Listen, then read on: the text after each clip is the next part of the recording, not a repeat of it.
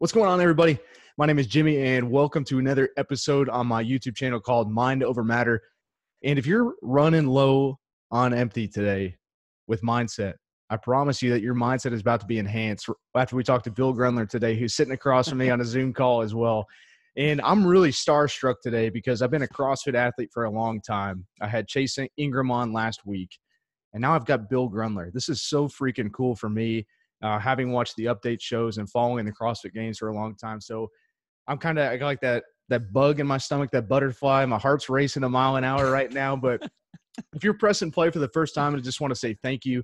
Uh, if you're looking for a channel dedicated to mindset and helping you work on weaknesses and strengthen what's between your ears, then this is the channel for you.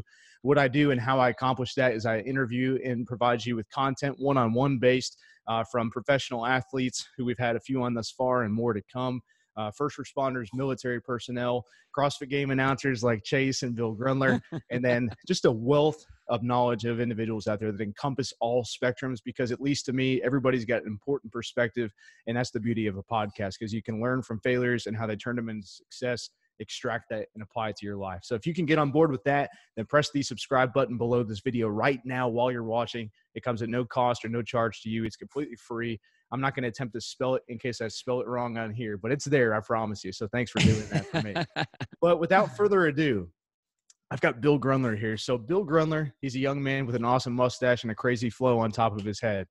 And he is partners right now with Chase Ingraham. They are on a tear right now, and they are two of the most notable names in the CrossFit community as far as announcing is concerned. Uh, Bill was also a multi regional and multi games competitor. He now owns CrossFit Inferno. And Pat, or excuse me, not Pat, Bill the person that most of you might not know used to be a firefighter as well for 17 years in California as well, which we're about to talk about here in just a second. And obviously, with the dynamic and the shift of CrossFit. Uh, he's no longer with CrossFit or announcing for the games per se, uh, but again, he is partnered with Chase and still is able to do a lot of sanctional events that he will continue with Chase in the future. So, without further ado, Bill, thanks for hopping on and joining me today. Wow, that was quite the intro, man. I appreciate it, and it's uh, I'm happy to be the elder that you're uh, talking to with uh, when it talks to mindset and all that kind of stuff. So yeah, I'm glad, dude. I'm stoked to be here, man. Stoked to be here. I appreciate you taking some time out of your schedule, and you know, you just recently got into podcasting too, huh? We just talked about yeah. That How's that? Yeah, so, um, you know what? You went through the trip is I never like podcasts have been going on for a while, but I never got into it. Like I, I couldn't figure it out, mostly because I couldn't I didn't understand the idea of why someone w- would want to hang out and listen to like an hour and a half conversation between two other people. I just didn't get it, and um, I don't know if it was attention. You know, I just didn't, didn't have that time frame to look at or whatever. But um, uh, I, I got on a couple podcasts with Chase when he first wanted to do his his uh, podcast of the Get with the Programming. Um, I did the first two shows with him and man, we had a lot of fun. It was really cool just being able to rap out and talk about that kind of stuff. And mm-hmm. then when he asked me to be the co-host with him, I was like, yeah. So now all of a sudden I was kind of getting into that and you know, like I like I dig Joe Rogan and all that and all that all that, but I never really I mean, you listen to Joe Rogan's podcast and they're all like two and a half hours and and I, I did again I didn't understand it. Right. But I started doing a lot of driving back to uh, um, my dad. Uh, he recently passed away, but I was driving back and forth trying to take care of him and my mom and stuff. And so I'd listen to a lot of those podcasts. Dude, podcasts are cool. They are cool. So, like I, I don't know why. Like I really enjoy just hanging out, and you get a very, uh, I think anyway, a very cool look into whoever it is that they're talking to, you know, Elon Musk or Absolutely. Joe Rogan or you know whoever you know whatever you know even on even on the crossfit landscape it's really fun so uh, we have me and chase have been having a really good time doing that you know we've had some guests on our shows and you just whatever the subject is it's just really cool so I, i'm really stoked on the platform it's awesome it is yeah. cool. And it's super like it's mentally stimulating too because it's a learning experience when you're learning from somebody else's perspectives and you know you get to hear their thoughts, you get to hear their insight.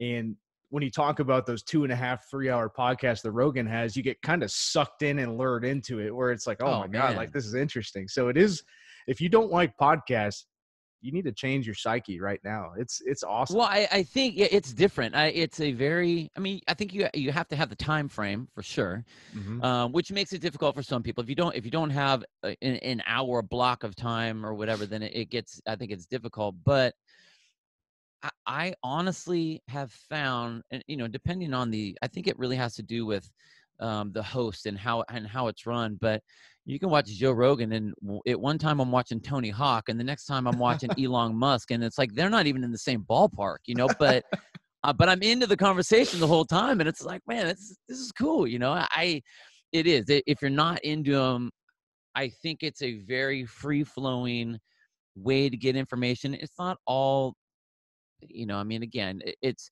it's one person's opinion on whatever it is that they're talking about but the stories that i think people have are are really interesting and what you get is the actual feeling of how that person is handling whatever it is. So especially like you know here we are talking on your podcast with mindset.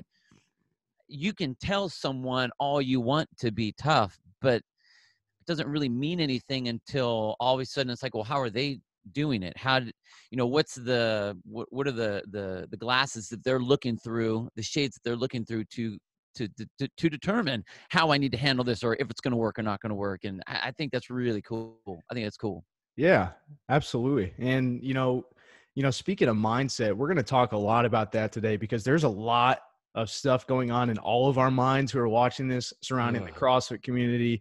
Obviously, Yeah. everything with Black Lives Matter, everything with COVID. 2020 is probably one of the best years to start so far. Uh, it's probably to say the least, right?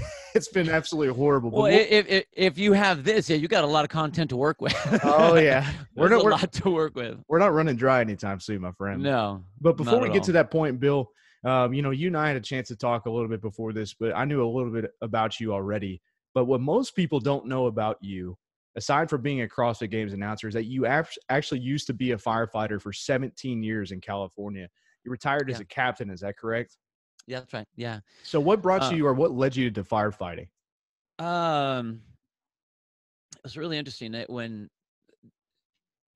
on the forefront of all of my careers, and I, I, I mean, the one thing about being older is you end up having a lot of careers. That's just kind of kind of how it goes, or a lot of different things that have happened in your life. So, uh, when I look back on it, I see the straight line that's been drawn. But on the forefront, when I got out of high, when I got out of college, um, I started coaching at the local high school. I, I was a wrestler in college, and and that was kind of my thing.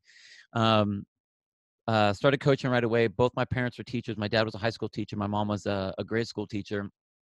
I loved coaching.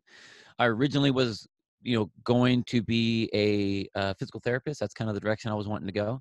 Uh, my my college degree was uh, biology, anatomy, physiology was my was my background. Um, got in coaching, loved that. Went back to school to get my teaching credentials, so I became a high school teacher. So I was actually a high school teacher, taught uh, biology, general science for ESL and uh, medical careers is what I was was what I was teaching. Coach swimming, uh, helped coach wrestling with my dad at the high school he was working at as well. And in the summer times, like so, I was actually doing that. I, I uh, went to went to school at Cal Poly in San Luis Obispo in California. Went out to Arizona to finish my teaching credential. Uh, I had the ins with the with the school district out there, so that's how that kind of worked but every Mhm. summer I would come back and I started lifeguarding. So I got into the beach guarding thing. So I'd you know teach in the summertime, then I'd come back and, and lifeguard um, on the beach up here in Pismo Beach um, during the summer times. Well, the Pismo Beach lifeguards were run by the Pismo Beach Fire Department at the time. I didn't know anything about fire. I mean, my parents were teachers. That's all I knew. That's all I knew. So started kind of figuring. I loved loved doing the lifeguard thing because it was training it was physical activity it was feeling like i was part of a team again. I mean i you know i wrestled forever and ever and ever so like being part of a unit like that was really really cool. And i wanted to look more into that and a lot of the guys that i was working with were trying to become firefighters. And you know i just started asking questions and i'd see the big trucks and i'd see what the guys would go on or that we would be on calls with them at the beach you know we'd be making rescues and I, I like that whole scene i just really really liked. Mhm. and then I was like, okay, I think I need to make a switch. and so basically went from teaching in Arizona to coming out to California and going through the whole um, uh, call the junior college fire academy type stuff that they have out here.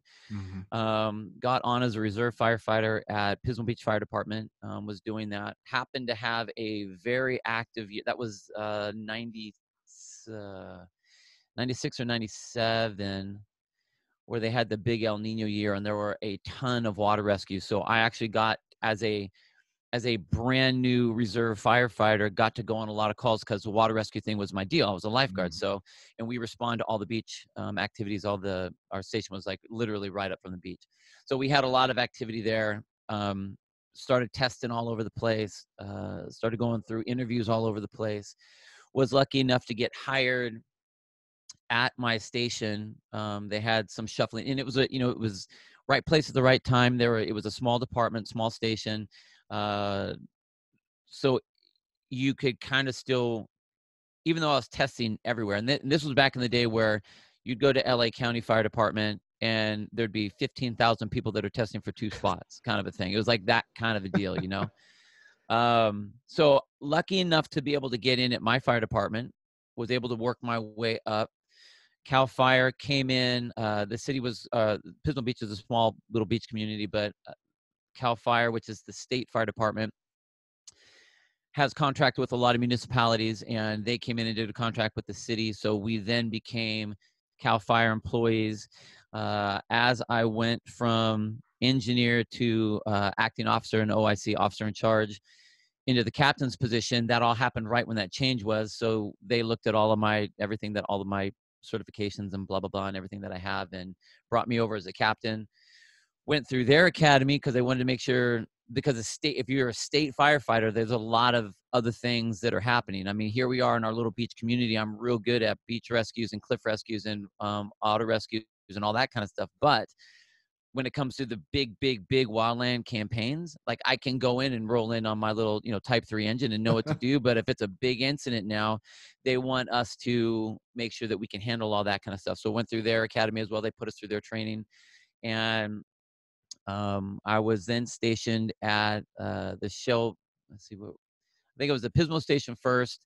Was moved to the Avila station for a while. Ended up my career at the Shell Beach station, which is a they classified it as a Schedule C, a Schedule C department, which was a Schedule A for the off season, which is the the winter time, which would we would run our regular engine, and then during the summertime we'd be in our wildland engine and we'd Hmm. be responding all over the state. So I've seen now a bunch of stuff. I've seen the huge California campaigns and you know the big fires there, and, and um, been you know, if, if you're a firefighter, you say you're fortunate enough to be involved in a lot of incidents. If you're not on the fire scene, you've you've had the misfortune of being able to be in a lot of these incidents with a lot of people.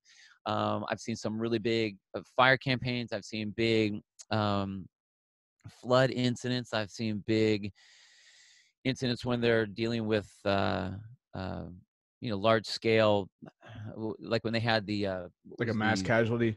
well, those or even like the the big chicken flu that was came Oh, through yeah. like you know way back the whole SARS thing and all that. So I mean, our the the Cal Fire Department is known for their strategic movement with large groups of people to be able to handle large incidents like that.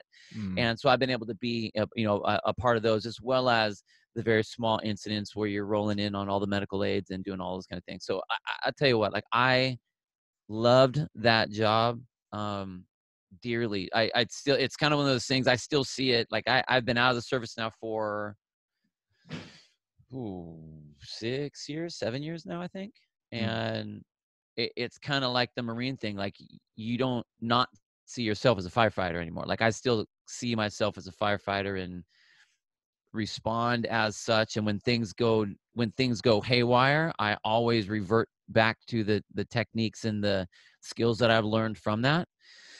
And that's a lot how i handle um, a lot of the stuff but like yeah so we i was that that was that job and i loved everything about it uh, uh, everything about it. I loved all the teaching part of it i loved all the physical aspect of it um, and that's really like where my gym came from because i as a coach and as an athlete I saw the benefit of physical activity and I have a very high standard and a high uh, expectation of what a rescuer is supposed to be able to do.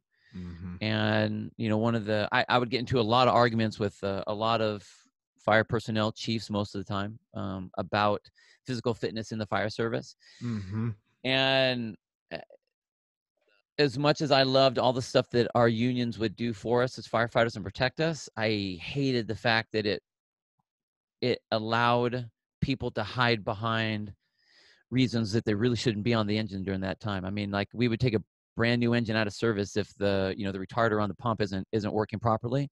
One Mhm. simple little thing that I could control as an engineer that I wouldn't even need to even look at that, but we'll take that whole thing out of service. Yet we have guys that can't bend over or can't walk or can't go upstairs or can't carry all the stuff or are extremely overweight or extremely unhealthy and they aren't able to do the service that they need to do for their community and I, had a really hard time with that. So that's kind of where the CrossFit Inferno started because I really liked what CrossFit was. Mhm. Um, I like the idea of being able to be good at anything and everything because as a especially as a as a Cal Fire employee, we're either hiking hills or I'm putting holes in roofs or I'm having to pull a car apart. So it's like I, I have the full spectrum of everything I need to be able to do. And if that's the case, I need to have a plan to be able to do that. And I, the CrossFit was the only thing that I saw that did that. And I've been, a, I mean, I've been a, I've been a jock since I was five years old, you know. Mhm. So I've done every workout program out there, and there wasn't anything better than that. And it, it didn't, there wasn't anything that gave the results, functional results. I mean, maybe you know you could you could do more curls and make your arms look better, but you know, what I mean, like this other stuff makes you look like a badass. It, it, it- makes you a ba- badass. Plus, you look like a badass, and that I mean, that's what I that's what I loved about it. So that's that's kind of where that gym started, and that was done while I was working, and um, you know, eventually I had to. I came to a point where it was like I I got to make a choice somewhere. Absolutely. There's too much happening on both sides, you know. it's it's a lot to juggle and that's you know i'm glad that you kind of said that is because there's a lot of people out there who will say thank you for your ser- service we really appreciate what you do and have absolutely no clue what it is we do and how hard it is Yeah. to get hired at a freaking fire department like you Yeah. said you tested for against 15,000 people for two spots well Yeah. i've had people ask me so do i just show up to a firehouse and put in an application like i do at mcdonald's and say hey can i have a job it's like it's like no no they're, they're so like it's just when you kind of go like oh my god like no Yeah, years of schooling it's a competitive process there's polygraphs that a lot of people would bomb nowadays Yeah. it's just it, the list goes on and on and on it's one of the hardest jobs i think in the entire planet to land and yeah, and saying so there's just so much constantly that goes into it which i'm sure at some point in time was that hard decision for you like do i be a gym owner or to be a firefighter it's you can do both but it's hard to find a balance when you're trying to be best at both things yeah. I the, the the problem is that I had I have too much respect for both parts.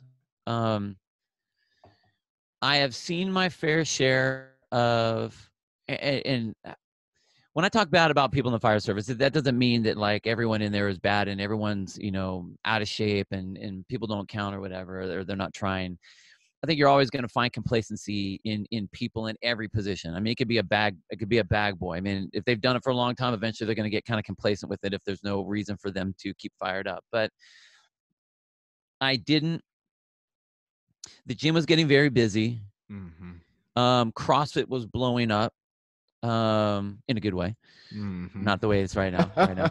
um, in a good way. Um, and I, you know, I was doing a lot of broadcasting stuff, and all of that was happening in the summertime. Well, in California, California burns in the summertime, and so they, you know, my my chiefs, as much as they were, so I I was the physical fitness coordinator for our county department, and that's great. Um, they're really it, part of that part of that job was to be able to you know keep your education in that sort of area up be able to go t- to whatever um, meetings and and things like that that are around but the problem is there aren't any of those things around. So what i was doing was being able to use broadcasting the crossfit games as that. Um, my department knew that like they saw uh, if i went on camera they knew that i was the cal fire fire captain here representing and here competing and here doing all that stuff. So they were like, they kind of, you know, they let me go with that as much as they could. But mm-hmm. when the when California's blowing up, what we end up doing like all over the state, Cal- Northern California may have a big fire, so they they're dumping all the resources to that. So that means that they're pulling everyone from Southern California up and kind of spreading them out along other stations. So I could go from my my station right in the middle of California, right between LA and San Francisco, right on the coast.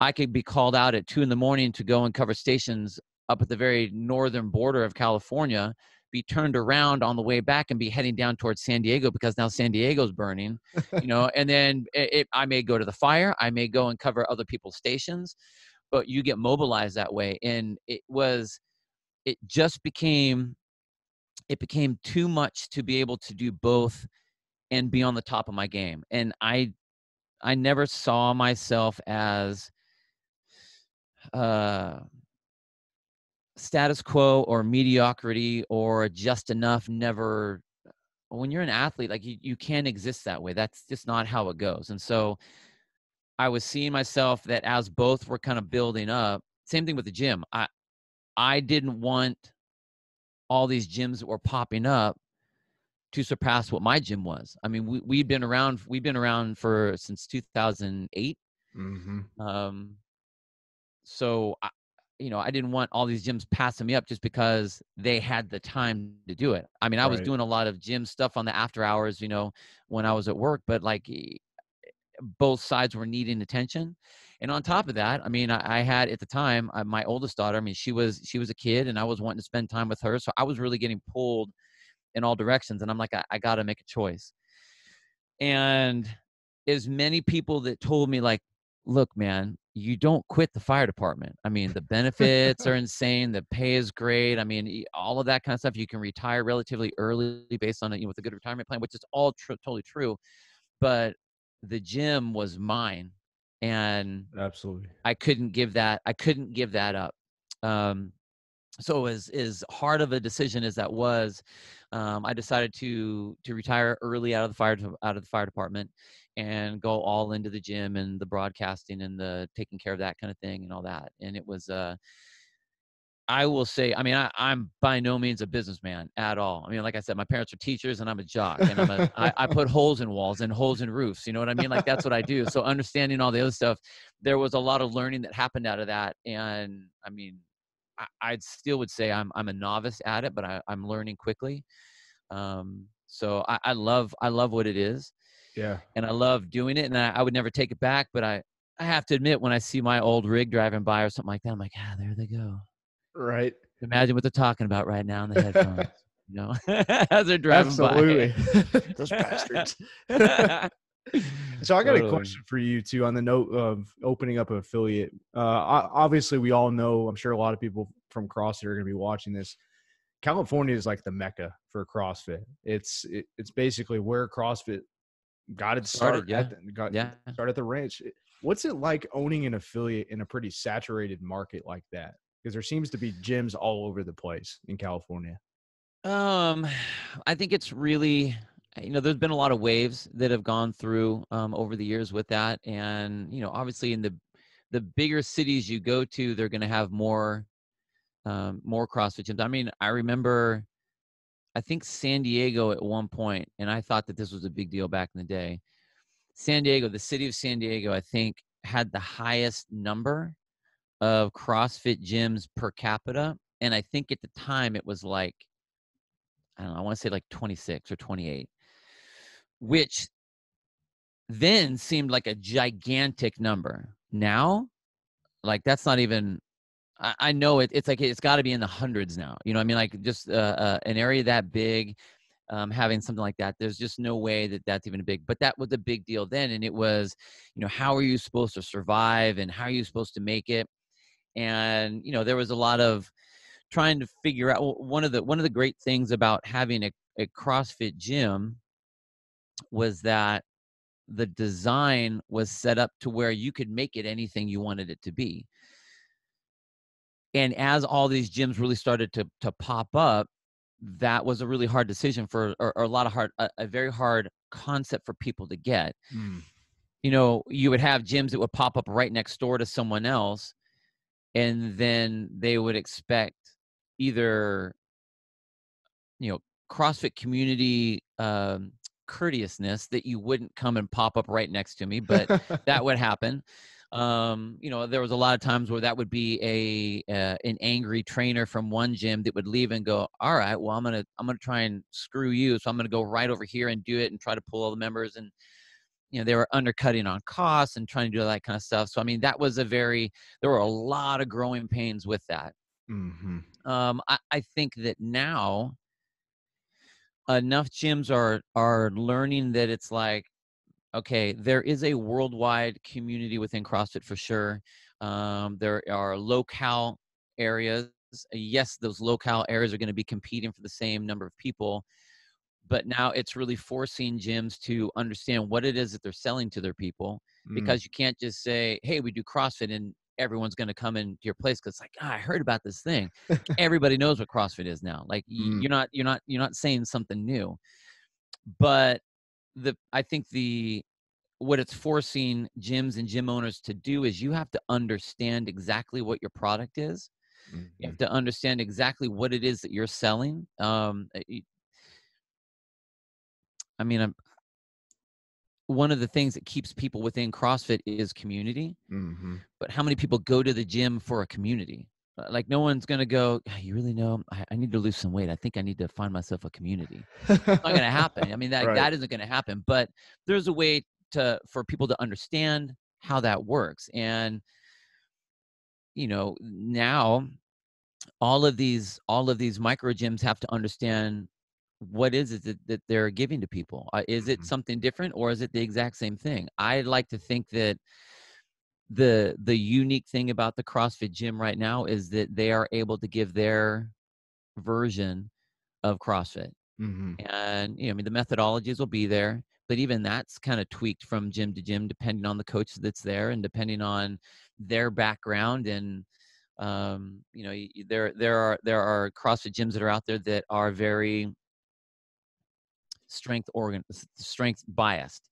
There are Mhm. going to be some that are gymnastic biased. There are going to be some that are uh, mobility biased. There are going to be some that are going to be uh, um, you know they're going to i don't want to say cater but quote cater to you know an older demographic or an Mhm. adaptive demographic or a uh, you know recovering drug and alcoholic um, you know uh, sector. And the, the the fact that all of that is out there is awesome because now you have a variety of places to pick. And as a as a consumer as or someone that needs that wants to change my life i now can find the gym that's going to help me do that the best.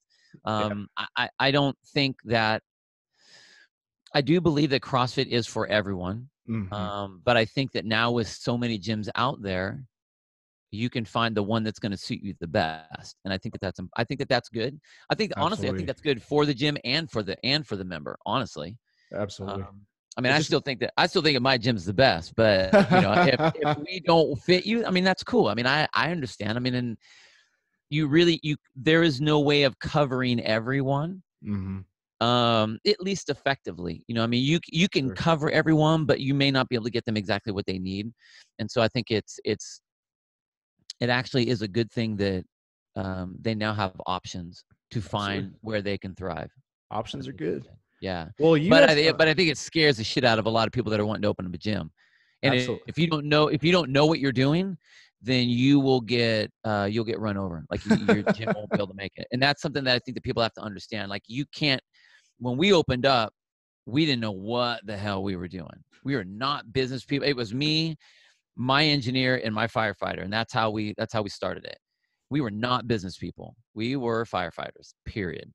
So the thing is is that having no business understanding like that like you can't come into the game without like especially now without having your business side solid if it's Mhm. not solid you don't have a shot i mean the lucky thing for us now honestly is i mean you know again like i i'm i'm i'm much better now than we were and we at least have a have a good reputation behind us so we can kind of run off that a little bit and that that will kind of smooth over some of the holes that the gaps that we at least that we had so Yeah. yeah Absolutely. Well, you you know you mentioned options. It seems like you've always had job options because you've created that opportunity for yourself. Uh, you know, you start you you were a fire, firefighter, you opened up Inferno, even though you didn't have any business knowledge whatsoever. It seems like you're creating an awesome brand like you have so far. You're surviving, you're getting by, which is which is impressive right now. And then, go ahead. No, I was gonna say, well, it, that's um. I, I mean, one, I, I like to say that I don't want to say it's lucky, but I mean, we we have been lucky to I like I, the fact that we we're in our 12th year now that's saying there was ne- there was never a plan for that. Mhm. like we just were like okay we're gonna go. And I, I mean the only real plan we started off with was well okay we'll we'll take a, a a- lease out on this one building for a year. And i mean if we don't make it whatever. And then it just kind of kept on going. There wasn't like a okay now we need to do this and five year and the 10 year and the 15 year. Now you know now now we're no we've done that and, and are doing that but um that was never the case so we were lucky enough to do that um, and lucky enough to to be able to do that but yeah you have you have to be able I, I didn't understand the idea of pivot Mhm. I, I didn't I didn't know what the hell that meant. I didn't understand it. All I know is that like I tr- I treated what we did like a coach with athletes, and I'm gonna try and take care of my athletes as best I can. Um, and that that was you know we were lucky enough to have that work at least for most of it. Absolutely. And then you, you kind of learn after that, learn on the fly, you know. Well, you were you were learning on the fly, but you were also doing your own damn work by competing at a high level as a regional athlete and then a games athlete. But where did the broadcasting come about? Because I, I asked Chase the same question. Now I want to hear your answer. Uh, okay, so for me, um, I don't have any broadcast experience. Um, never, never had any aspirations of wanting to, you know, do broadcasting or live live commentary or uh, that was never my thing. I had no idea even really had no idea even what that was, other than the guys that I would see on TV. Um, it was the very first live uh, broadcast regional event in SoCal. Um, it was the first time HQ ever had that. And at the show, they had Justin Judkins and Marty Say were doing the commentary. Uh, Miranda Oldroyd was the interviewer, so she would do uh, sideline reporting, sort of. Yeah. Uh, Rory was kind of uh, Rory McKernan was kind of working the board, and that was when Tony Budding was still in the mix as like the head of the the media department. Um, I think that was 2010 that year. Uh, I was competing. I was doing well. I think it was my 40th birthday that during that competition. So I'm in there doing my thing, going through all the events. I did well in in one of the two events, and they they had me come in in to interview. And Justin Judkins, he's an ex wrestler. He wrestled up at, at Boise State. I wrestled at Cal Poly. We wrestled against each other. We didn't know that at the time. I think we were we were a year difference. I think I was a year. I'm a year or two older than he is. Uh, but our teams would wrestle all the time. So immediately and this is this is one, one of those community type things. When you're a wrestler and you meet a wrestler you instantly have a connection and me and justin were able to talk. So right away we're kind of talking shit to each other and kind of jabbing at each other and being goofy and everything and um, very comfortable when we were talking. Uh, so that interview went fine. Miranda interviewed me for something. I think i was interviewed again and when i was going out for the last event um, i was in i think ninth place going into the final event. I think you, I think I had to be fourth to qualify for the games. Um, as I'm walking out to the to the uh, the the track that we had to do this run on, I'm walking out there. I'm just kind of by myself, got all my stuff, and I'm walking out. And Tony Budding kind of runs up to me and he's he's like, "Hey, Bill, let me talk to you for a second. I'm like, "Oh, Tony Budding, okay. I've seen you on the old videos, you know, the old HQ videos." He's like, he's like, "Hey, man, um, you're doing great. It's awesome. Um, it would be it would be unreal and super cool if you qualify because you know you'd be a great story to talk about at the games you know with your age and everything it would just be awesome but if you don't make it um, what do you think about being a, a commentary uh, you know being on the commentary team for the games and i'm like i didn't really even know what the heck that even meant but i go so you're saying i could i either go to the games or i get to go to the games and he's like yeah. And I'm like, yes, sign me up. That's it. So So that was my interview. Like change. literally, that was it. That yeah, totally. So that was it. So I I go out. I did decent in the event. I ended up seventh overall. So I missed it by Yeah. three um, places, which in my CrossFit career for the open division stuff, other than 2012, I always missed it by three places. And ah, it's such a hard pill to swallow. But that's whatever. It's it's okay. Um, but yeah, so that was it. So then he hits me up afterwards and says, "Okay, so I want you to be um, the color commentator, and um, here's what that means. Um, you're going to offer insight to what people are doing." And I'm like, "Okay, that's not very specific."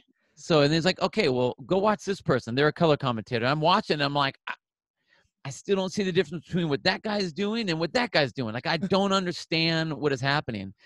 So went into it. I mean, it's funny through the uh, the podcast that me and Chase do. We we you know we we've been looking at the programming of all the games. So we've gone back and looked at some of the events and some of the stuff on YouTube. And like I'm watching the events and listening to what we're saying, and I'm just like, oh my god, that's so bad.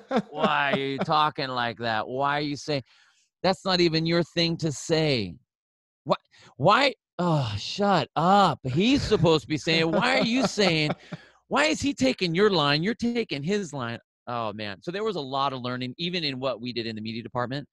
But um the I think the thing that that played in our favor is we loved what we were watching Mhm. um, you know whether we were all of us that were in it uh, were athletes in the sport and so we we were very fired up about being able to give that information to people so you know what we lacked in in experience um, we we had in enthusiasm i Yeah, think so uh, you know we really had it and then you know after that it was like we had a lot of years of a lot of people coming in like we're talking top notch people that would work with people on ESPN and CBS and whatever and teach us what we're supposed to do.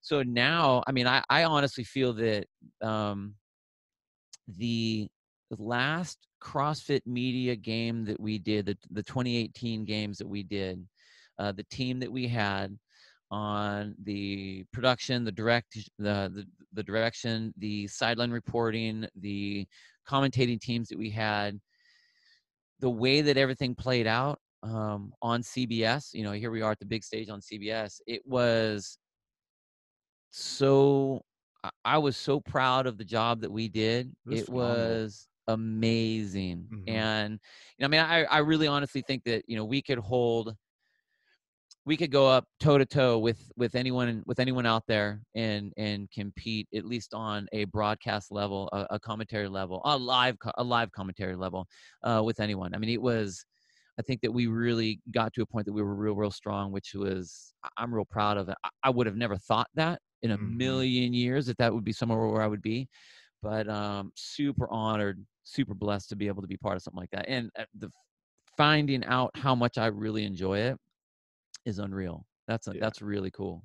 Absolutely. Well, it's cool for like I said. That's why I'm like starstruck right now because like you know having watched you on TV and everywhere, seeing you and Chase everywhere, even though I knew Chase beforehand was it was freaking cool, man. And to have you here now is awesome. Yeah. For so long, it seemed like CrossFit was just trending upwards. It was not coming back down. And Yeah. then it's just like the stock market. Now 2020 rolls around and it just plummets. Yeah. There's no fine line in between. It just went from 100 to absolutely zero right now. That's just the best way I can explain it. What is it like for you now watching the evolution of CrossFit and the direction it's kind of taken? Because I told this to Chase.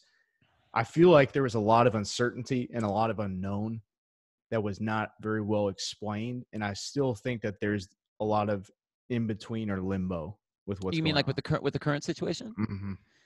Mhm. Um, I think that um, as far as the the upward trend, I think the reason there was such a strong upward trend is because of the results that people were seeing. Um, you know, just I'm, I'm talking, you know, losing weight and feeling healthier and all that kind of stuff. But the the drive, and- I'm not even talking on competitive side. I'm talking like uh, across the board. I mean, people losing weight, people getting healthier, people you know fighting diabetes, all that. That was people were seeing it working and they were seeing that that the community that te- like i mean if you look at maslow's hierarchy of needs you want to feel like you belong Mm-hmm. and that's what these gyms would do is you felt like you belong i mean that's that's why in, in the inner cities like gangs would be such a prevalent thing because you know if if a kid's family is is not functioning the gang becomes their family because they feel like they're included they feel loved they feel protected and that's what a crossfit gym was doing. Regular gyms didn't have that. Mm-hmm. um, everyone would be in there with their headphones doing their own thing and they're in their own little world. Not that's bad that was just what that's kind of how, how it worked out so that trend of seeing that and seeing how there was a lot of su- success with that people wanted to be on the bandwagon jump on the Mhm. bandwagon um, as that happens there was a lot of uh, again there was a lot of you know talking to hq from affiliates of you know what what are you doing for me and I, I think that a lot of people were expecting them to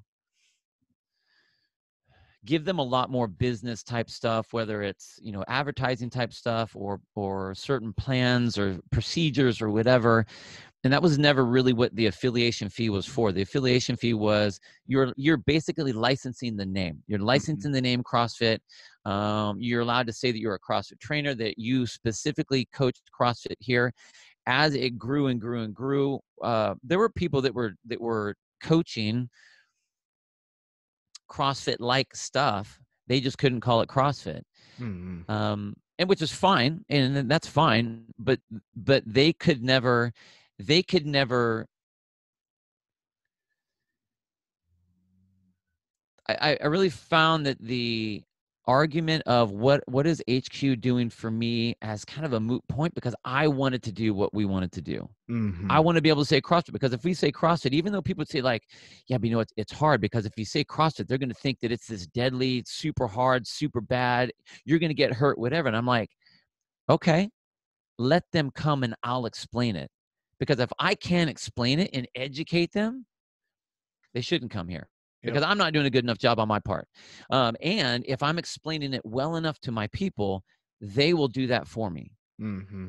I don't need to have 900 people in my gym. That that's not the that's not the business model of the CrossFit gym.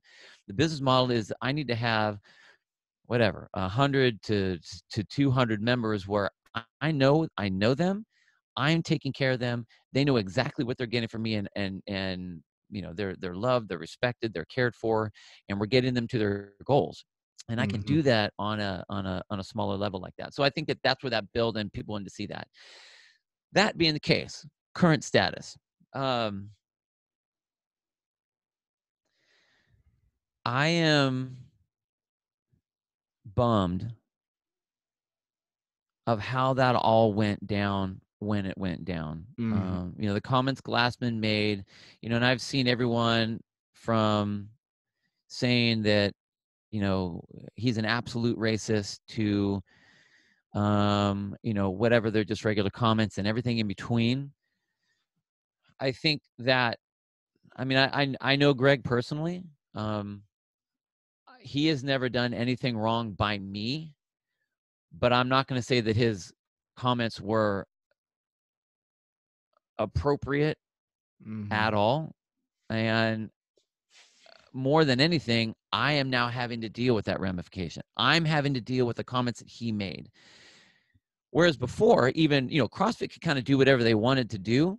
It never affected what I was doing. I mean, Mhm. CrossFit HQ is not CrossFit Inferno. CrossFit Inferno is CrossFit methodology, yeah, but it's uh, it's under it's in the box of what I have designed with my community and my people and the way I and the way I put it together and the way I and my staff treat our members and and you know the the way we are you know non-discriminatory against anyone that comes into the gym and we will work with everyone and everyone's going to be respected and loved and cared and all that kind of stuff.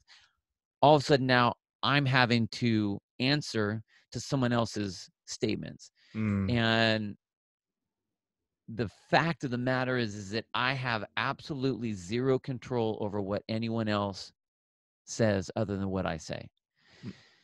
so i can't i don't with with uh glassman saying those comments I don't think that those are representative of CrossFit as a whole. Um, you know, to say that that um, you know CrossFit is exclusionatory and it, you know doesn't allow is that right? Keeping people out exclusion, yeah, exclusionary. Um, yeah, yeah. Um, I, I mean, it's crazy. If you go to four months ago, five months ago, six months ago, you could go to CrossFit HQ. You could do this like six years ago.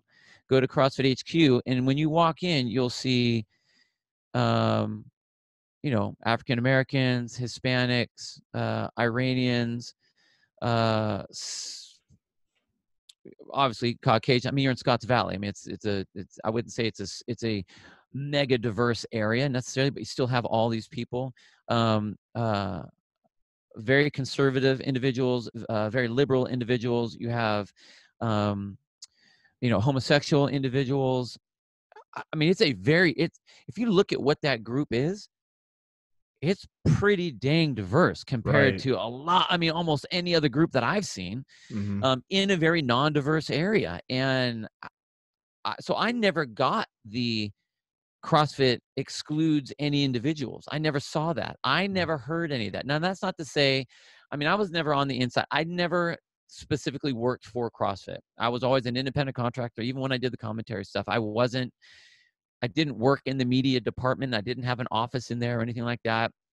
Um, they knew that when broadcasts were coming in, I, they would call me and I would go work with either Chase or with, with Sean or whatever. So that's how that works. So I, like I was very shocked at the statements and uh, and all that kind of stuff, but I I tried to remove myself from okay, again I can't control what someone is saying or why they're saying it, so I need to look at the big picture, which is what is CrossFit, you Mhm. know, and what and what does that have to do with me and my people? CrossFit is a methodology that is the best methodology out there that gets the best results for people for their health and their fitness and gets them most functional period there is nothing else out there like that I agree. and i'll and i will hold to that i will hold to that um you know i think it's very easy with the current with the current uh state of the world right now um to to have everything to immediately jump to where everything is is racist. Um Mm. i don't think that every single comment is racist. Is racism out there? Absolutely. Should it be stopped? 100% um does there need to be awareness of that? Absolutely. Do people need to be held accountable for comments that they make? Of course they do. Yes they do. Mhm. Um now that now that this is happening within the CrossFit world, I, I think that um, you know there are people that pulled out right away. Mhm. Uh, I think that that is a fine reaction to that. Sure. My personal reaction is that I want to wait to see what the change is.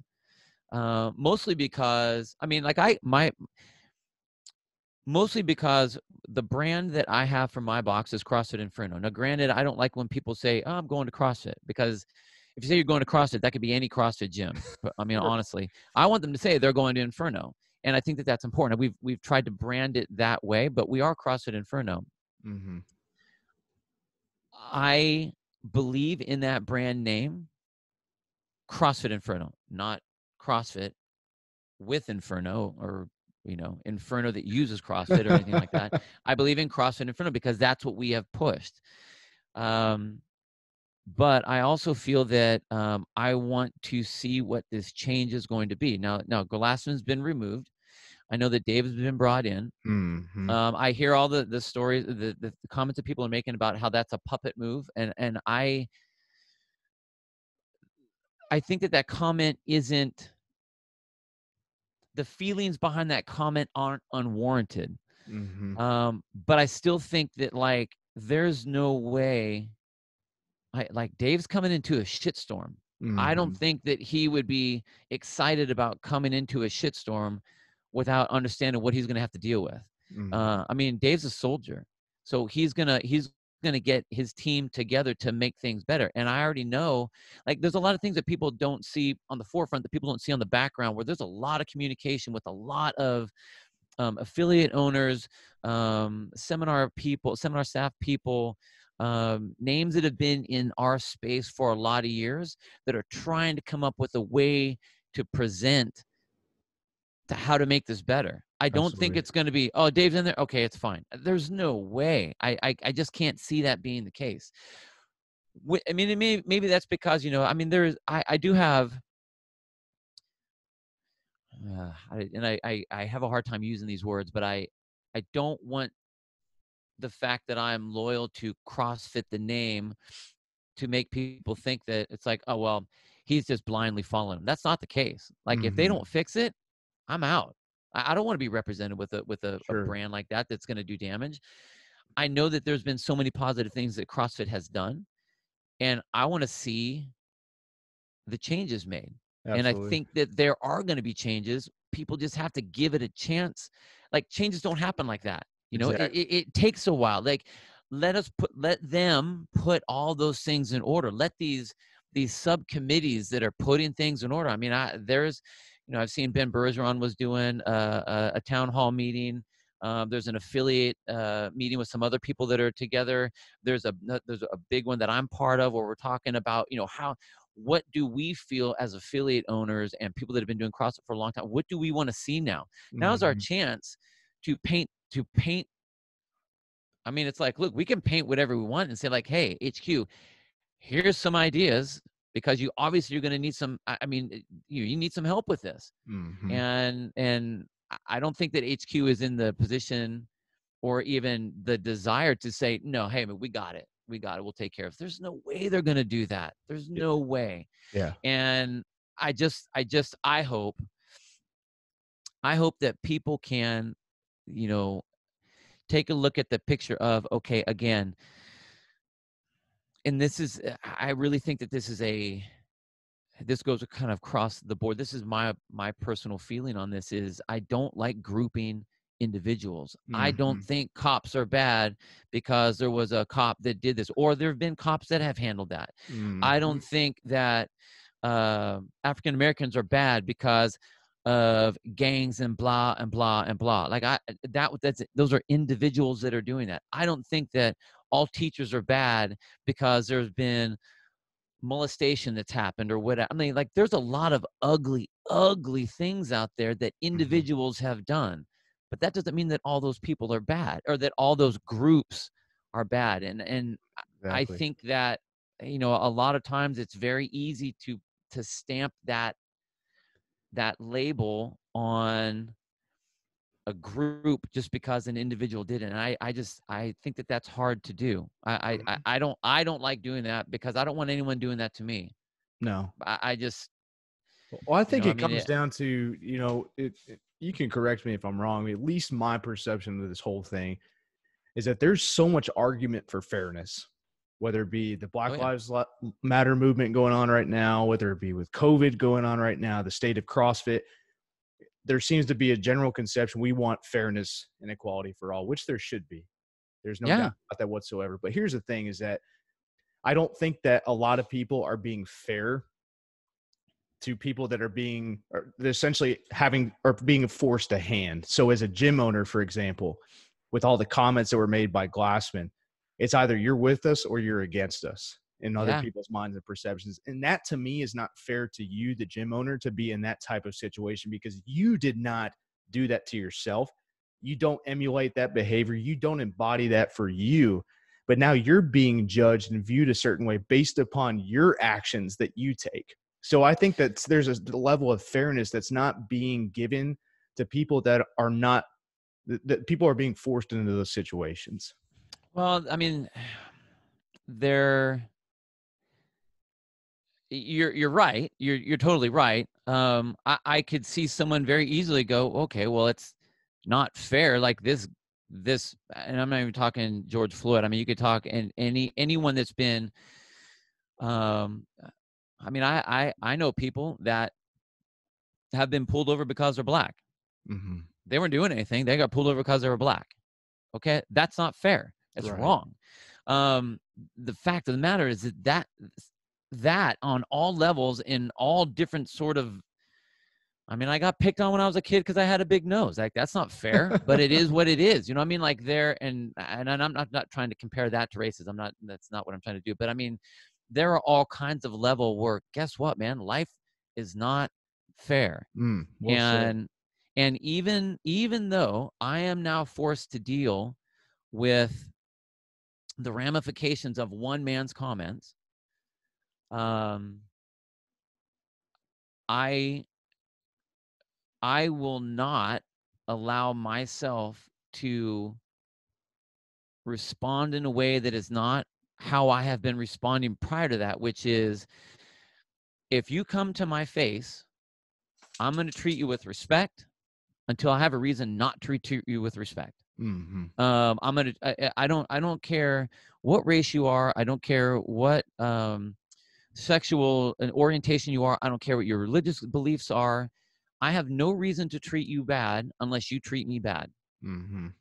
And so, to me, it's a very, it's a very, it's a humanistic approach to whatever, and I- I- t- that is that to me I boil I have to boil it all down to the simplest term for me so that that that is my that's going to be my common denominator across the board Mhm. across the board. I mean and that could be someone someone that is um that's not to say that you know the people that are protesting and the people that are out there yelling and uh, you know all all the people that are uh, you know on social media and they're cutting and pasting all this stuff and if you don't do that you are now part of the problem. I mean uh, okay. I I I cannot tell you how to be. I Mhm. can only be how I am. And if if this is the way that works for me in my heart, you know, to my core, Mhm. I, I- and and honestly, I think honestly I can affect I have the the most dramatic way to affect change by me doing this because if I'm working with you personally on a one-on-one basis and I treat you with fairness and fairness and respect and you were you were just treated with disrespect and unfairness, I think that I made a change there. And Mhm. that's how I choose to affect change. The way I can do it is by my actions uh, and what I teach my kids. Mhm. And the next point after that is going to be the people that I'm that I'm with. So like, you know, my people at my gym.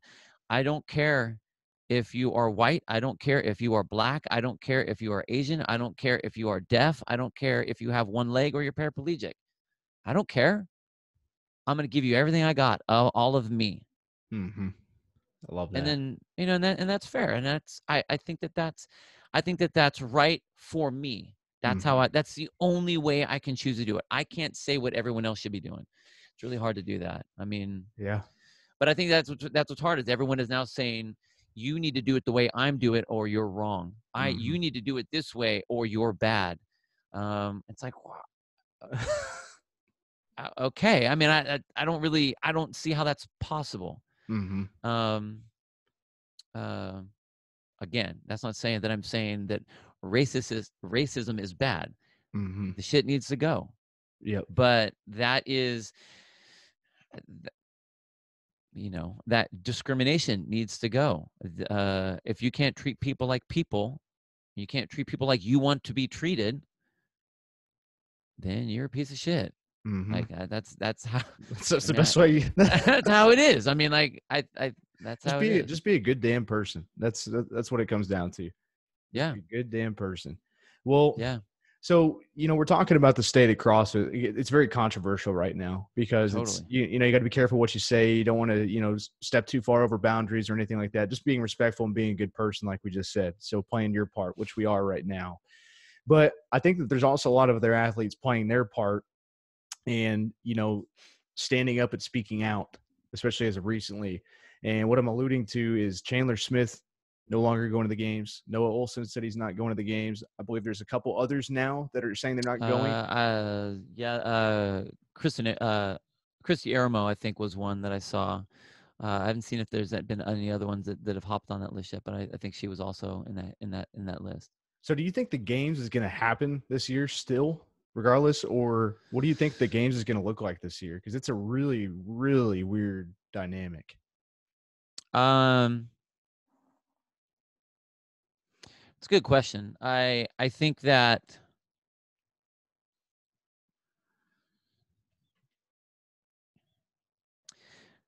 I think my personal opinion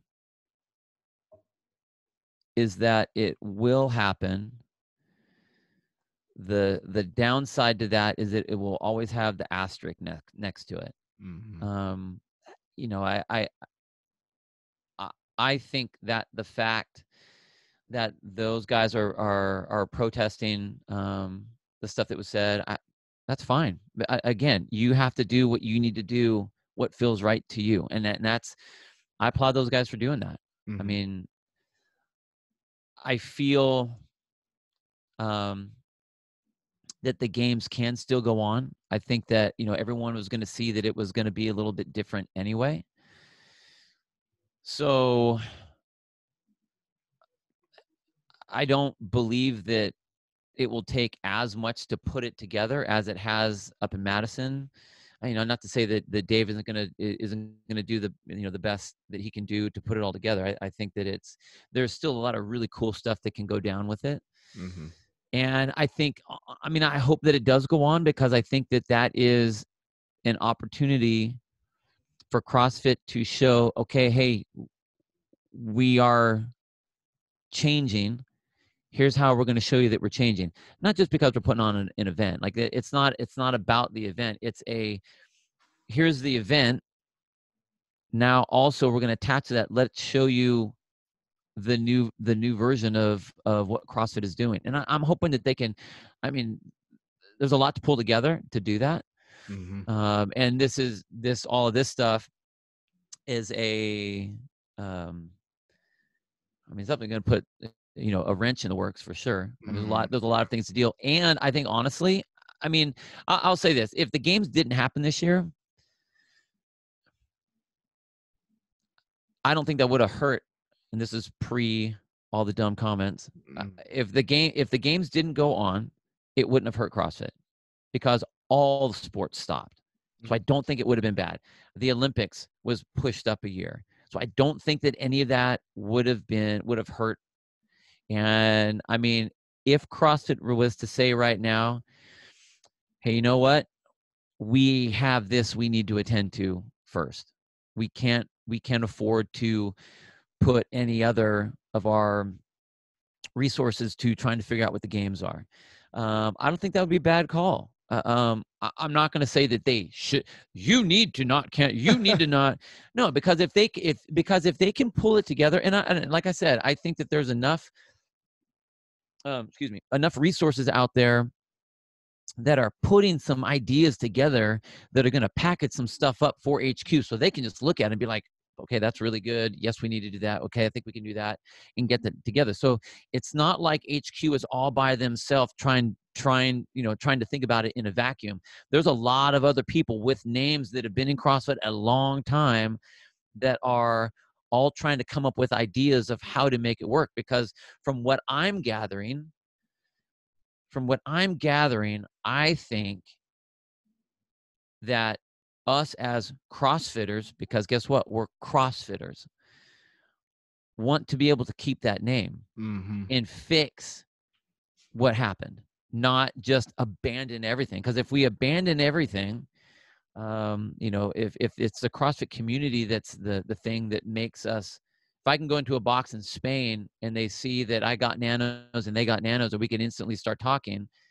you're not going to be able to do that because who's going to go into a CrossFit box when CrossFit is not a word anymore? We're just going to be worker outer people. Mm. And you know, if you are if you're a Gold's Gym guy and you do your normal gym routine, you go to 24 Hour Fitness, you're not going to talk to anybody. There's no connection there. So I think we still want that connection, and I think I think that as a worldwide community, I think we can fix that Mhm. and i think hq is wanting to fix that but it like changes are not going to happen in two days Mm-mm. even even if you put dave in there like that doesn't mean that it's a puppet play necessary i'm not saying it, it it i don't know exactly i need to wait for the dust to settle too but if greg is taken out you got to put someone in there fill the spot maybe it's an interim thing maybe it's a whatever until you know whatever they come up with a board of supervisors or they have some other way of putting it together i, I a one man show didn't work it needed Mhm. to change i don't think it's going to continue to be that way but again i you got to wait and see so can it happen? I, I hope that it does because it would be a great way to showcase the new CrossFit and Mhm. to um, to try to have some sort of way of, of celebrating the change. Um, you know, but if it doesn't, I mean, I, I don't.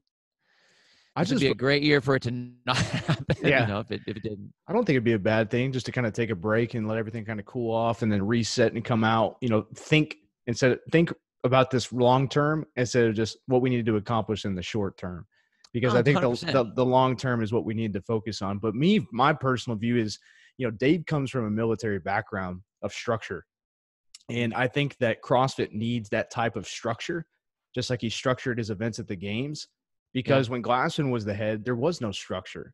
It seemed to be a constant teeter totter of just back and forth between the athletes who wanted this and Greg who wanted this. And it was just back and forth and back and forth. And that's my next question for you. I asked this to Chase. I got I want to get your thoughts on it.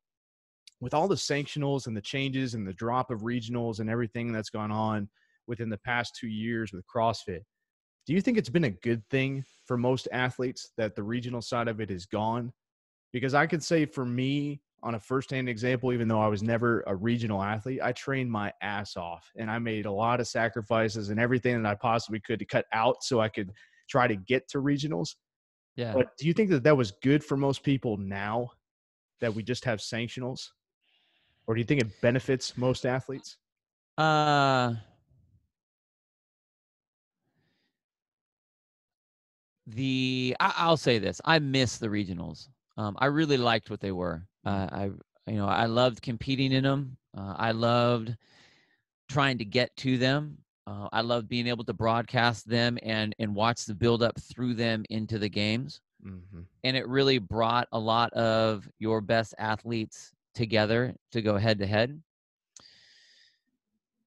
As much as I did not initially like the sanctional events, I honestly think that it gives more people opportunities now to do that. Now, and this and this is, and I, and I say this on a current current state of events, uh, not the, not the current current, but like the current year, the Sure. the last year. Um, there are a lot of athletes that have uh, there are more athletes now that have opportunities based on the sanctioned events because when you go to the sanctioned events you don't have the same number of caliber of athletes that you would if you did at the regional level. Mm-hmm. uh, so i think your chances of making it are better. Now granted you you are only you, have to be the winner to do that. Uh, but you know you take out the open people that usually does that. You take out people that have already placed in other events. So all of a sudden you know like the the, the rogue invitational last year you know the fact that chandler made it in that now granted he actually had a pretty decent placement but the uh, on the women's side i, I want to say um i think the qualifier that made it her name's it's off my can't think of it right now but uh, i think she was like 12th or 13th Mm-hmm. she was 12th or 13th in the event and qualified to the games Mm-hmm. because of the level of athletes that were there. So I, I think that it, you know it does allow a, a lot of opportunities. It definitely changes how you need to attack it and what your season's going to look like. Mm-hmm. You know, and how you choose to uh, where you choose to uh, to peak in your training. It's definitely different. Um, I. I I will say that I, I actually I, I actually like it. I actually do like it. Mm-hmm. Um, now I don't know if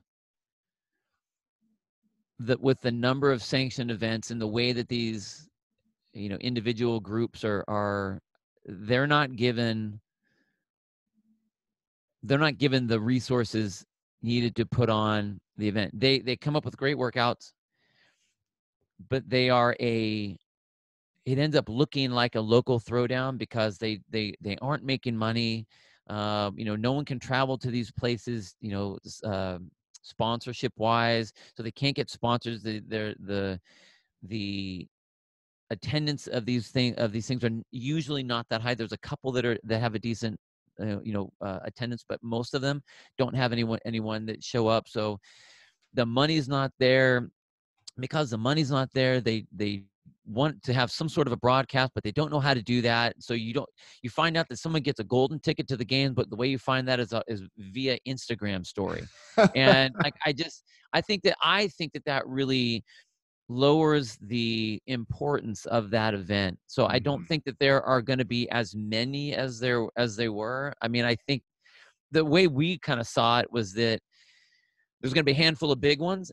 So you're going to go from 30 sanction events or whatever the number is, 32 or 28 or whatever the number is. It's going to boil down to the six big ones, which ends up being very similar to what the regional what Right, the regionals used to look like. You know what I mean? So I don't know. I mean, it's it's really hard. I think it's been an interesting change. Um, I, I'm not. I like what it is. I do like what it is. I think that it's it's pretty cool, and it offer it uh, offers a lot of more opportunities for athletes to be able to qualify. hmm But again, I, I just don't know if the individual sanctioned events have the resources to where they can continue to put on a good event because they need to make money. I mean, these these things they can they can't not make money and try to continue. It's just not going to work out that way. So Yeah. I don't know. I mean, I if they went back to the other way, that'd be cool. But then again, the other way was set up because CrossFit HQ had the media, then they put it all together and they were kicking it all out and they were putting all you know this money into it and stuff like that. So it's I don't see that happening either. You know? Right. Well, I So, yeah. told uh, I talked with Chase about this on our podcast too. You know, to me, it seems like there's a lot more opportunity now for commentators like you and Chase and Rory and now Heber with his video production to branch out and do their own things and capitalize on what they're really good at, and to make you know more of a name and more of a name for themselves, but to grow in an entrepreneurial spirit, I think is awesome but you also get to travel all over the place. You get to see all these different cool places. You get to you get to do what people want to do. What is Yeah. what is that like for you now? Kind of branching Oh, off, and doing your own thing with Chase and getting to travel and do all this. Do you like it better than the state that things were? Um, I I will say that that being able to go to these, I mean, amazing places. I can't think of any other way in my life if I didn't have this that I would be able to go wherever. I mean, what's really cool is that I'd, I, I- you know, I, I'd, I'd go to a Starbucks at wherever place it is that I go, and I have a lot of Starbucks mugs from like all, I mean, all over, you know, Dubai and Abu Dhabi and Spain and Norway and Switzerland and I, I mean, it's like that to me is really really cool, and I feel extremely lucky to have been able to do something like that. Um, I I will say that uh, you know the fact that it's it's a it's a lot of a lot of opportunity for for people to go out and do that. What's weird though is that it has put a lot of us against each other trying to get spots. So here Mm. we all used to be on the same team, Interesting. and now you know it's well i'm trying to get this job but you know sean's trying to get this job and chase is trying to get this job and uh, you know tommy's trying to get this job or jeff is trying to get this job or whoever and or they or they're like okay well we're just going to use one of our local people or uh armen's the name so we're going to bring armen to do whatever and what i have found is that Hmm. it isn't that people are doing what they're best at. People are trying to get in where they can, like, they're trying to get in where they can fit in, and they're trying to be attached to it somehow. So, like personally, in this, uh, thi- like, I, I know all these, I know all these guys. I, I, I know all of them. Um, I know what they have done over the over the years. Like, I, I think that like Armen is a, like, the dude is a way better vlogger than I will ever be the way he's able to talk to the camera the way he's able to talk to the you know the people on his on his on his vlog and his his podcast and everything is he does it really well. He he's got an opinion and he can drive that opinion and that's awesome. He obviously has a name in crossfit but i don't think with his skill set that he's a good live commentator. Live Mhm. commentary is a different skill. Um stats guys there there are some amazing stats guys out there you know uh, Tommy Marquez was all, like where he started really branching out when it, when it was HQ was the guy would go through all these stats and look at you know who did what when and why you know this person should do really well at this one and this one person should do this and here's the percentage difference on if you're first and this thing you finish that information is awesome and it's great stuff to talk about Um, Brian Friend does the same thing. I mean, the- amazing. Chad Schroeder, he was our stats guy when we were HQ stuff. Those guys have amazing numbers. That's not my gig. I wouldn't be as good at that. But when you grab one of those guys and try to put them in a live com- uh, uh, commentary uh, situation, now it's different because all those numbers, honestly, don't mean shit anymore. it's like, tell me why this person is doing because I mean, and that's maybe maybe for like you know myself uh, and other color commentators being the athlete we know that anyone can be beat on any day Mm-hmm. why is it happening right here it has no uh, like the the percentages don't mean anything on the other stuff anymore. They Mhm. should be doing well but why aren't they? That's what color is. Uh, we we say why they're doing well or not well and how are they doing well or not well. That's the color. I we're supposed to give the depth to what it is that they're doing. Um and then the the play by play does the the you know what's happening what's happening right then. So you you got sean um, you know chase is kind of a he's kind of an anomaly. He can actually kind of play both sides. So when he's with me he plays cut uh, play by play when he's with sean so he's going to be actually at the rogue invitational this weekend with sean he's going to be doing color on Mhm. that end. So he's able to give that that that coach's point of view with that which is really cool. Um and again I, me me saying those things is not saying that tommy or brian or chad or uh, armen that they aren't good and that they aren't good to have in there.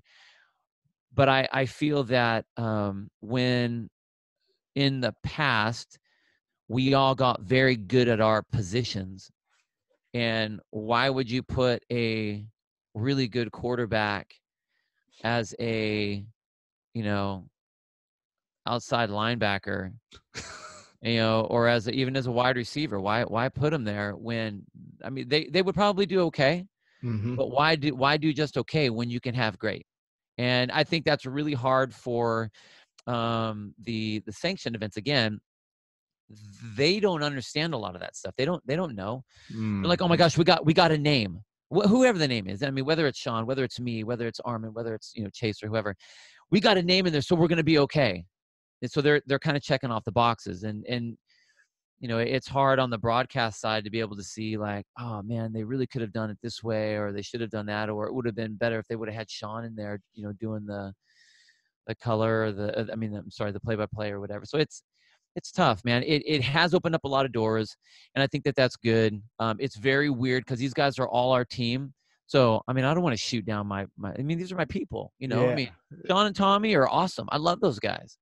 Um, the the hard part is is that like Sean and Tommy because of talking elite fitness, those guys are kind of a team, and me and Chase because we do a lot of sanction events, and a, a, a lot of what that started was because Sean was doing HQ, he was working with HQ, and I was like, hey man, we need to get more reps. Can we go do some of these other events? And he's like, yeah, I think that that you talked to the you know everyone else at the the powers that be back in the day and he's like yeah go get more reps so that's where me and chase started doing our thing because it was like we just we wanted we needed practice. We wanted practice. We couldn't just Mhm. practice at the games.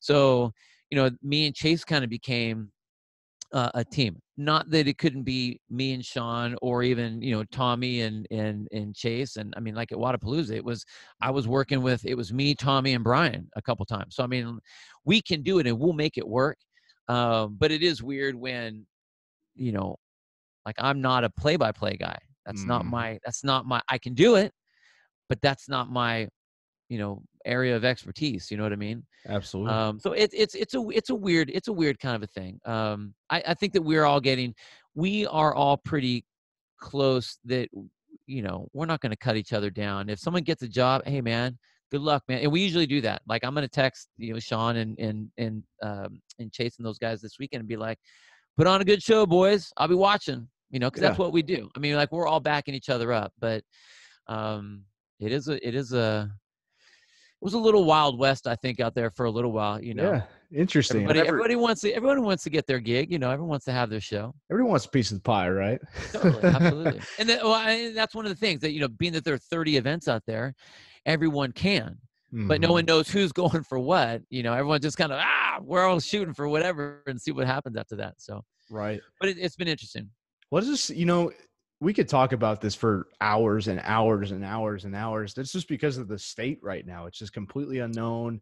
There's Yeah. there's really no direction. But I'm excited to see what comes of it. I know you are too.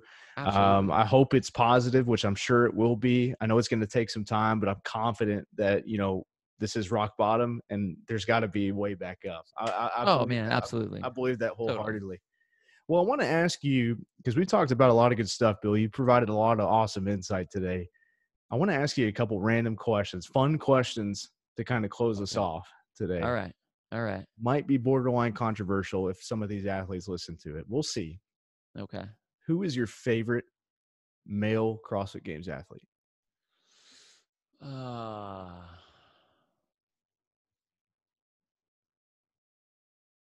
wow, that's a good question. Um,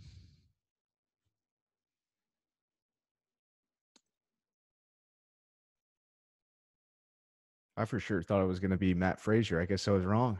dude, uh, well, you, you know what's funny? Like, so when I started commentating, I was still competing. Mhm. and and as a competitor i don't put anybody up on a pedestal so i didn't have a favorite because the thing is if i think you're way up here how the heck am i supposed to beat you? Exactly. and and so i really i really i really kind of feel um that and i think that that just kind of continued. There there's a lot of things i like about a lot of the athletes. I uh, like what what i like about what i'll say about that it may be easier for me to tell you things that i like about different athletes because I, I i don't i don't think i have a i don't think i have a like a favorite like that. What i love about matt is the dude is so damn good and he still tries so damn hard. Mm. like uh, like you know eh, you know people always talk about the you know the what the what if you know rich against against matt. Rich the fact that that guy's still doing what he's doing is unreal but like he was so good at his time um, when he was competing. The difference that i saw with him is he never it was very rare that he went all in. He didn't he didn't most of the time he didn't have to and if he didn't he just he made sure that he just beat you. I don't see matt just beating anyone. Like the dude goes full tilt all in on every event and i that's that's what i admire most about him he's a he's a champion that does not look at all like he has lost his hunger and Mhm. that's that's super fun to watch you know um and then you got the flip side like if we want to you know kind of go down like the the podium for them last year like noah what i love about noah well one I love that he is finally maturing into his position Mhm. and i love the fact that he is been able to I, i've seen him try to practice it this kind of mindset of like i'm not worried about the outcome i'm just worried about trying to do my best it's very easy to say very hard to do as an athlete because you don't train to lose you train to win the event not to Mhm. train to do my best in the event because you know remember the movie the rock you know Uh-huh. you know you know you don't you don't try you, you don't you don't do your do your best you know, only losers say do your best you know try to do your best you know winners to you know go and take the take the prom queen. Um that's like that's a hard thing to do but what he's done is he's done that and I, it's very cool to see him really be able to do that and still perform. The fact that you are going like okay i'm all into what i'm doing not all into the to the result but all into my performance right now and being happy about that like that's super cool to watch Mm. um you know pat vellner the way that that dude is he generally speaking gets so is so unfazed by things that happen to him Mhm. um you know he takes everything in stride and you know whether he's whether he's falling from a cargo net or you know his bike breaks or I forgot know, about that. I mean, the guy just kind of is like, you know, maybe that's a Canadian thing. It's like, well, you know, I, you know, I guess I'm just gonna have to kind of keep you know, keep on going. um, I mean, but he's but he's even with that, he's a very ferocious competitor, you know, and hmm um, I I I I I admire that about him. Like the guy just keeps coming, and he you, you, he doesn't get rattled, and that's. So those are the I like those kind of things. I don't know really, that really answer your question. No, it- does. but- I just got to add in one one funny piece. I loved there who I don't know who made it. There was an American Sniper clip. Oh, dude, I think that was Fluffy Duck. I think that was Fluffy Duck. One of the best ones out there. There, boom, there goes Matt Fraser down. Boom, there goes. Oh my gosh, one of the best things. Literally one of the best videos ever put together I Cross loved that thing. So good. But we digress. It's okay. There's there's a lot of those moments that popped. Now, I want to ask you one more about the male Yeah. side, and then I want to ask who your favorite female athlete is. Do you think Matt will ever be beaten? And if so, who's it going to be by? oh.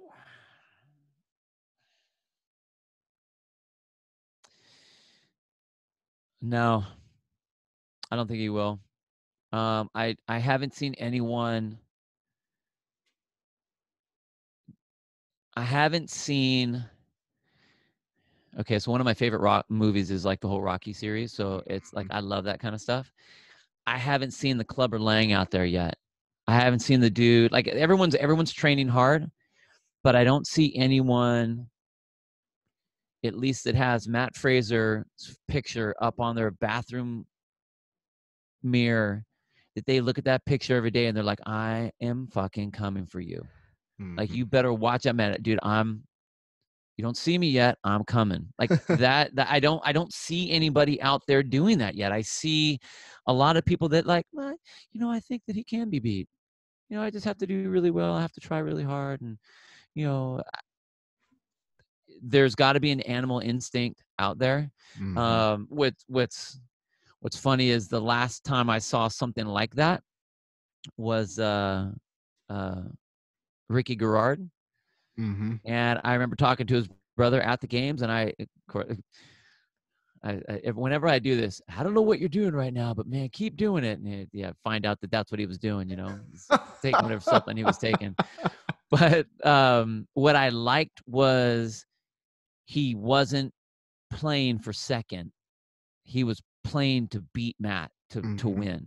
And you know, even before that, the last person I saw that, that was before that was Tommy Hackenbruck, and you know, trying to go after Rich, and it was like, I mean, vocally, he'd say, "I'm coming for you, man. I'm Uh-huh. coming for you." I mean, if I if I get second, I don't even care. I don't even count. I want to beat you. I'm coming for you. That's- like that's what has to. That's what has to be out there. Mhm. Um. So no, I don't. Until until someone is out there with that, I don't see Matt getting beat. I agree completely. Now let's talk Yeah. females. Who's your favorite female athlete? Um. Uh. I really like Tia right now, Mhm. and, and, you know, granted she's the champ, and it's I don't I don't like her because she's the champ. Uh, I like that she. I really like the transformation as a as an individual that she's had. Um. From when she first, you know, was on the scene and competing, you did not hear a word from her. Mhm. She was quiet. She would just kind of do her thing, and that was kind of it. Um, even when you know, even when she was on the podium, you didn't see much. Even when she was champ the first time, you didn't see much. Like you just didn't. She wasn't making any noise, and then she, as far as I could tell, she just seemed like one of those completely introverted people. Mhm. now she's not you know she's uh, she's she's you know super fun you see her joking around and, and being goofy when she's training with matt um i mean I, I love the fact that she's on tiktok and she's doing all these tiktok dances and stuff like that. I think that that's that that's funny and, and super cool. But what i like is that she's so good and having so much fun at the same time I mean, it's always fun when you're winning so i mean like that's it's kind of a, a no-brainer but um it's cool seeing i mean she's just she's good at everything just you know really really good but but the you know same thing i i love watching man samantha briggs like Okay, one, so she was a fun. firefighter. She's Uh-huh. she. What I love about Sam is she's always smiling and always fighting, Mhm. and it's not. You never hear her have any. There's never an excuse.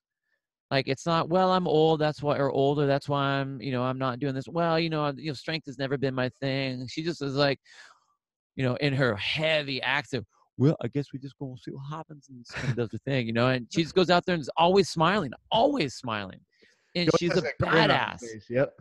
Man and she's a badass so i i really like to me she's she's just inspiring because it's like she's she embodies the um the old school crossfit athlete which is i'm doing i'm having a blast doing it i'm going to train super hard i'm going to compete super hard and i'm going to love all of it hmm whether I make it or not, I'm gonna love all of it. And that's she's just great to watch. I mean, I mean, I could go down the list. I mean, I think I think Katrina's great. I love watching her when she competes, and and I love I love watching um, uh, Sara Sigmundsdottir. Like I'm I'm really bummed what's gone down this year uh, Mhm. with all the stuff because she was finally I at least from what I could tell on the path to being the Sara that she's that I've been waiting to see. She, I mean, she's Mhm. had all the skills, had all the pieces, but trying to line it all up, you know, and not making it about you know where she's living or you know even who the coach is or whatever. I, I've never seen an athlete transition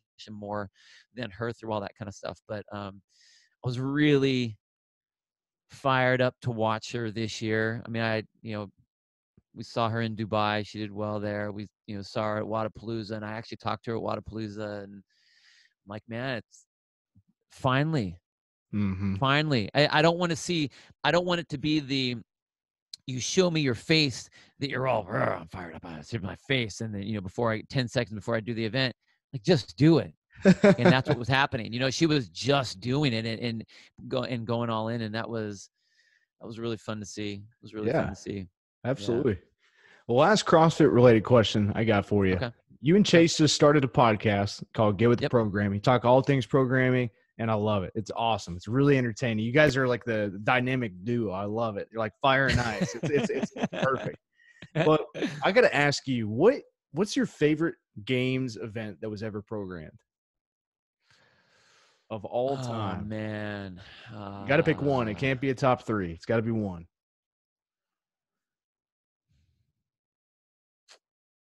That's that. That is. A, that's a really hard question. I will say we are going to have an episode that has events going head to head to come out with the best one. So you'll have to stay stay tuned for I that saw one. that Um, bracket I- challenge.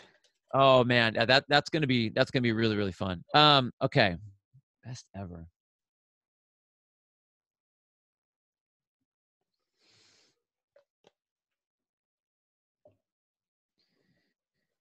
Uh,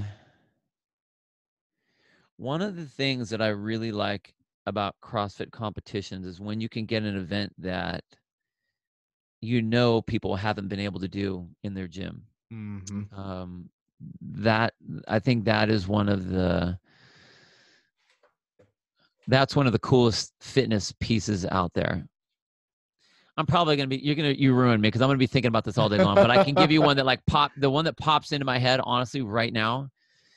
Uh, would be the the sandbag wheelbarrow event. Where Noah dropped his and all of them fell off the side. Yeah, yeah. Um, so they redid that one. They did it twice.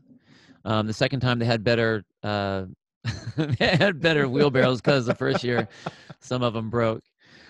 Um, but what I liked about that was again like there's even if you practiced moving some stuff uh you know in wheelbarrows you never had the exact setup where you could pick the sandbags and have to drag them down and have to figure out how you're going to get up over this wall and and and you know and make make it so you can pick them all back up again and how you're going to transverse them uh, you know, across.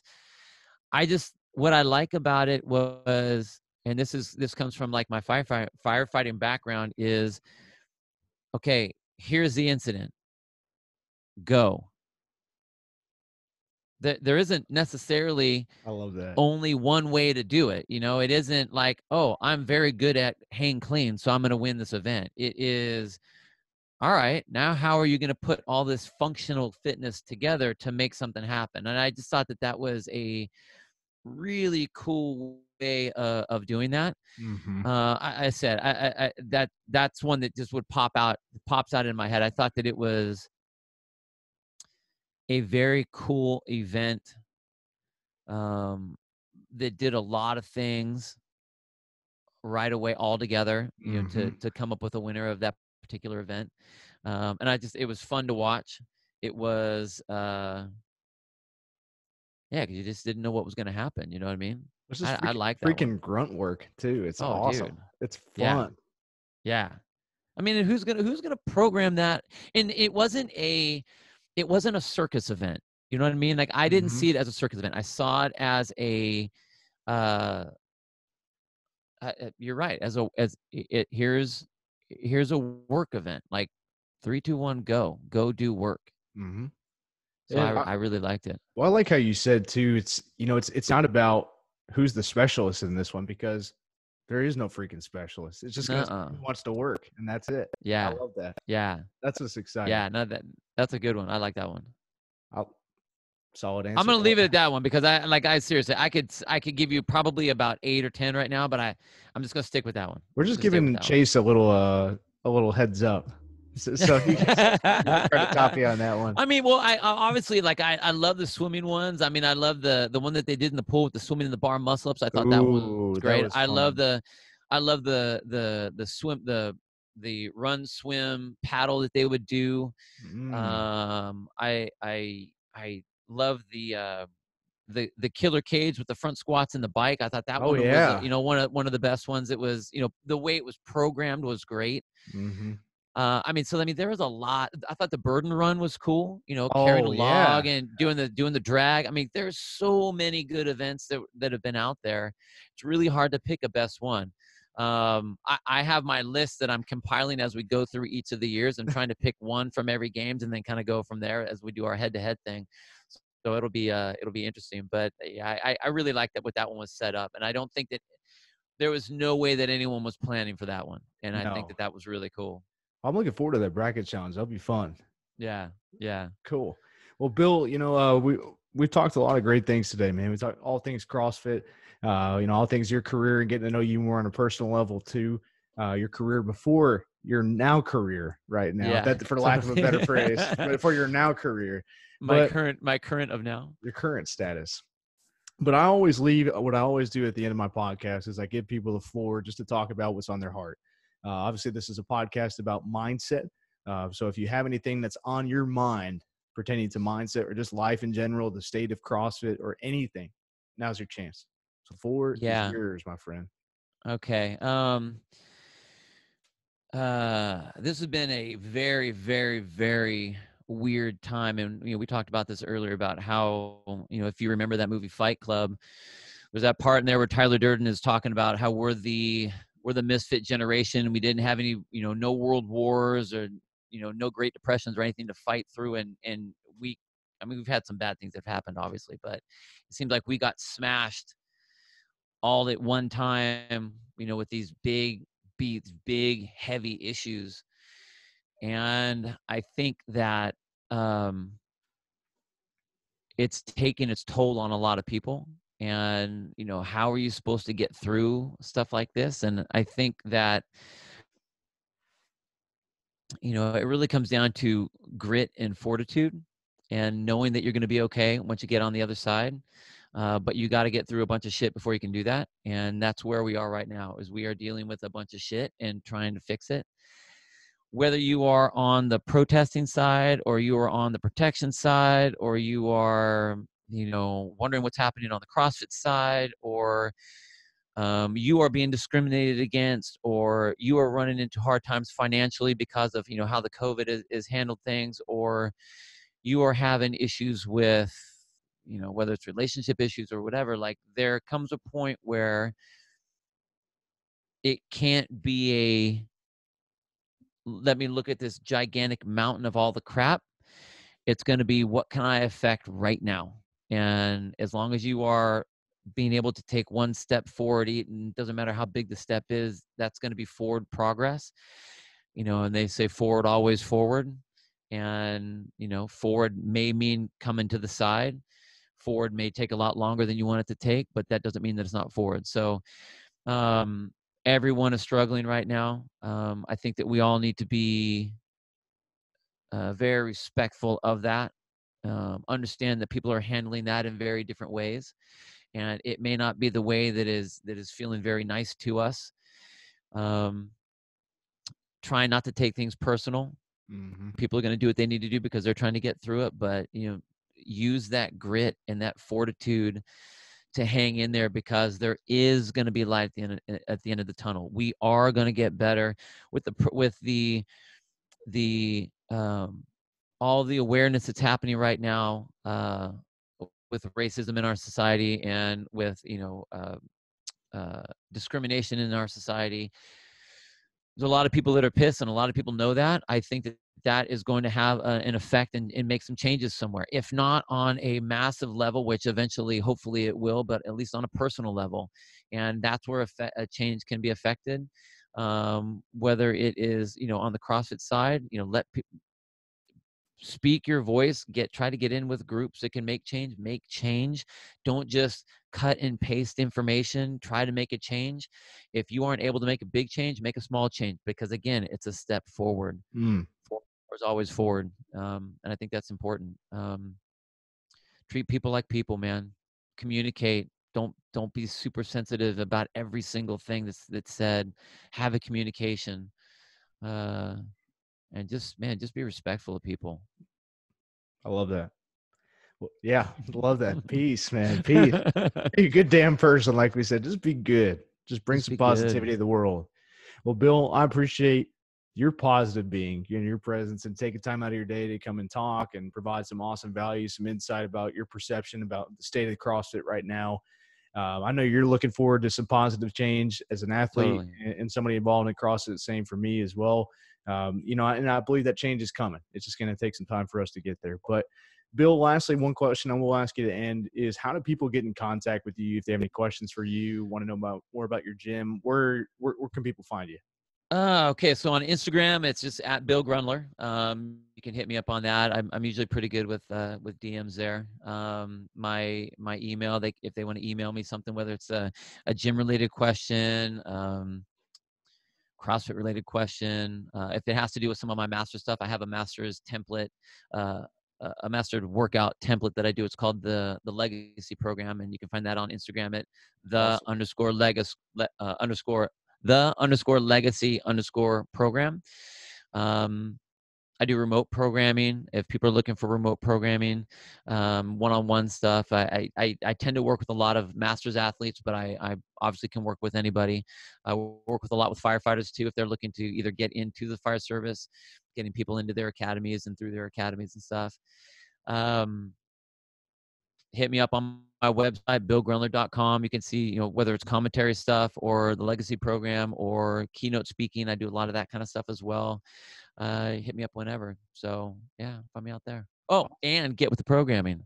Yes. That, uh, the podcast with me and Chase. So um, we're in that we're in that realm as well. You can see you can download wherever you get your podcast stuff. So Spotify, um, the Apple Store, yeah. uh, all those are on there. So we've been I won't say we've taken a little hiatus, but the, all the stuff that's been going on with CrossFit, it kind of bumped us a little bit. So we're we're still waiting to do. We're on uh, 2012 coming up um, we still haven't hit that yet, but we're uh, waiting to get that out there as soon as we can, so awesome. we can get back on track with everything. So yeah, very cool, awesome. Well, thanks again, Bill. And then for all of y'all watching this who are new to the channel, uh, if you liked it, liked our interview with Bill, which I hope you did, you're looking forward to more awesome content to help you enrich your mind and strengthen your mindset then this is definitely the place for you as well. Uh, so press that subscribe button, follow along for more awesome interviews to come. Uh, you can find me on Facebook. My name is Jimmy, last name Gross, G R O S S. And yes, a bunch of kids in third grade gave me a bunch of shit for that. they, they, they, they, they, still do, but that's okay. Uh, you can also find me on Instagram, same thing. And then we have a Facebook page as well, Mind Over Matter Podcast. If you want to go there and drop a like, it gives you notifications about future, uh, just future content, things that I'll post on there to keep it fun and interactive. But thank y'all so much for tuning in and watching. And Bill will talk for a little bit longer. Don't leave just yet. But for the rest of y'all, I look forward to chatting with you with our next interview coming up here sometime next week. We'll see you.